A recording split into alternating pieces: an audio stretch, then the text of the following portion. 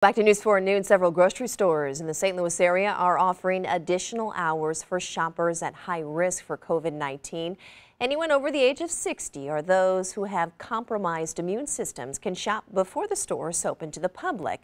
News 4's Caroline Hecker spoke with shoppers at the Hampton Village Schnucks today who say the rush to buy is unlike anything they have seen.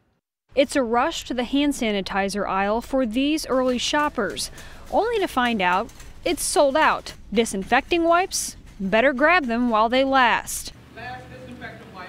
Toilet paper in such short supply, shoppers will do anything to get the last roll. At local grocery stores, employees can't restock fast enough. What we had in it's already almost all off the shelf. Limits are now being placed on toilet paper and paper towels, two packages per customer. But it still doesn't answer the question why? We're just low, so I figured I better get enough. Workers say they've never seen anything like it. Honestly, it's been like the zombie apocalypse was coming.